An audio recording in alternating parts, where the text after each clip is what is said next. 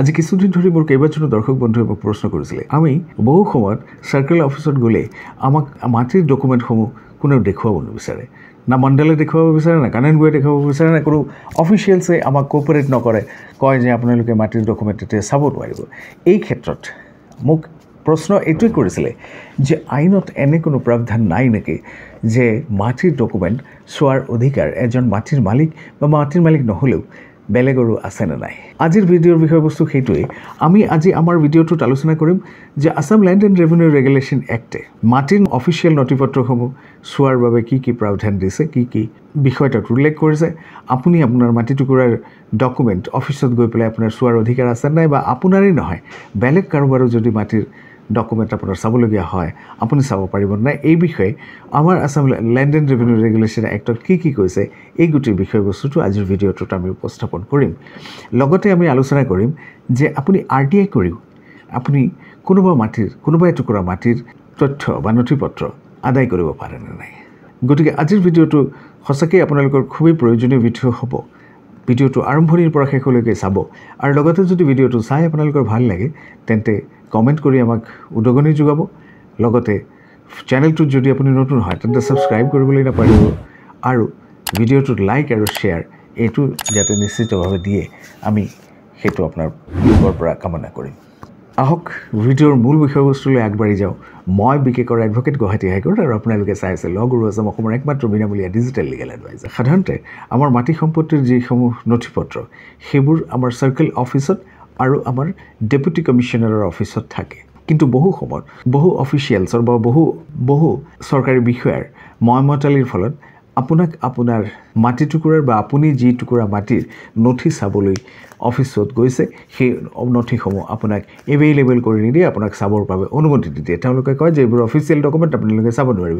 এনে বহু সমস্যাৰ কথা মোক বহুজনে বহু সময়ত কৈছে। কিন্তু কথা হৈছে যে এইটো সঁচাকৈ পাৰে নে নাই? আজিৰ ভিডিঅ'ৰ মূল বিষয়বস্তুটো মই আগতেও কৈছোঁ যে এইটোৱেই যে সঁচাকৈ তেনেধৰণে চাৰ্কেল অফিচৰ অফিচিয়েলছসকল বা ডেপুটি কমিশ্যনাৰৰ অফিচৰ অফিচিয়েলছসকলে আপোনাক আপোনাৰ নথিপত্ৰসমূহ আপোনাৰ মাটিৰ নথিপত্ৰসমূহ বা বেলেগৰ মাটিৰ নথিসমূহ হ'লেও আপোনাক চাব দিব পাৰেনে নাই? এইটো আচলতে একেবাৰে সম্পূৰ্ণ ভুল কথা।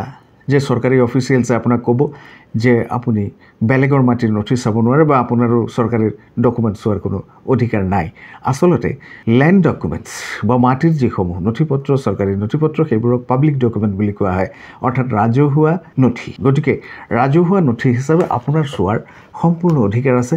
আপুনি যিকোনো সময়ত মণ্ডলে যদি বা কাননগুৱে বা কোনোবা অফিচিয়েলছে যদি আপোনাক নথি দেখুৱাব নিবিচাৰে তেন্তে আপুনি ক'ব যে এইটো পাব্লিক ডকুমেণ্ট আৰু মোৰ চোৱাৰ ৰাইট আছে আৰু এই সন্দৰ্ভত আমাৰ Assam land and revenue regulation এক্টে কি কৈছে আহক চাওঁ Assam land and revenue regulation actor section ছিক্সটিত স্পেচিফিকেলি কৈছে যে আপুনি যিকোনো মাটিৰ নথিপত্ৰ চাবৰ বাবে আপুনি এপ্লিকেশ্যন কৰিব পাৰে লগতে এটা প্ৰেছক্ৰাইব ফি আছে সেইটো দিব পাৰে।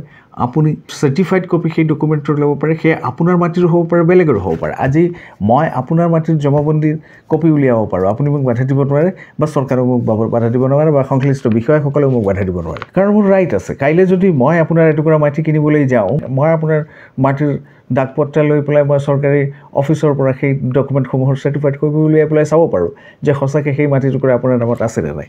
গতিকে কোনেও বাধা দিব নোৱাৰে। এইটো একদম নিশ্চিতভাৱে মনত ৰাখিব যে ছেকশ্যন ছিক্সটিয়ে আপোনাক সম্পূৰ্ণ অধিকাৰ দিছে যে আপুনি যিকোনো ব্যক্তিৰ আপোনাৰেই হওক বেলেগৰে হওক মাটিৰ নথিপত্ৰ আপোনাৰ চোৱাৰ অধিকাৰ আছে আপুনি চাৰ্টিফাইড কপি ল'ব পাৰিব। আপোনাক বাধা দিব নোৱাৰে কাৰণ land documents are the public documents তাৰ উপৰিও আপোনাৰ যদি প্ৰয়োজন হয় আপুনি আৰ টি আই কৰিও সেই ডকুমেণ্টসমূহৰ নথি আপুনি ল'ব পাৰে। বা সেই সন্দৰ্ভতো আপুনি যিকোনো ইনফৰমেশ্যন ল'ব পাৰে আৰ টি আই এক্টৰ অধীনত। আৰু মোৰ ব্যক্তিগত অভিজ্ঞতাৰ পৰা কৈছোঁ যে বহু সময়ত আৰ টি আই কৰিলে আপুনি যদি কোনোবা এজন বেলেগ ব্যক্তিৰ মাটিৰ নথি আৰ টি আই কৰি ল'বলৈ যায় তেতিয়া সেই ব্যক্তিজনৰ পৰা চাৰ্কেল অফিচাৰ বা সংশ্লিষ্ট কৰ্তৃপক্ষই অনুমতি বিচাৰে যে আপোনাৰ ডকুমেণ্ট অমুকে বিচাৰিছে আৰ টি আই কৰিবলৈ দিমনে নাই। সেইটো কিন্তু একেবাৰে ভুল কথা। কাৰণ যিকোনো মাটিৰ ডকুমেণ্টেই মই কৈছোঁ আকৌ এবাৰ এইটো হৈছে পাব্লিক ডকুমেণ্ট আৰু আপোনাৰ ৰাইট আছে আপুনি সেই ডকুমেণ্টৰ কপি পোৱাৰ। গতিকে আজিৰ পৰা এটা কথা একদম নিশ্চিতভাৱে মনত ৰাখক ছেকশ্যন ছিক্সটিটো মনত ৰাখিব আছাম লেণ্ড ৰেভিনিউ ৰেগুলেশ্যন এক্টৰ আৰু সেই সন্দৰ্ভত আপোনাক যদি কোনোবা বিষয়া বা কোনোবা অফিচিয়েলছে আপোনাক বাধা দিয়ে আপোনাক ডকুমেণ্ট চাবলৈ নিদিয়ে তেন্তে আপুনি তেখেতক স্পষ্টভাৱে এটা কথাই ক'ব যে this is a public document আৰু মোৰ ৰাইট আছে মই চাব পাৰোঁ।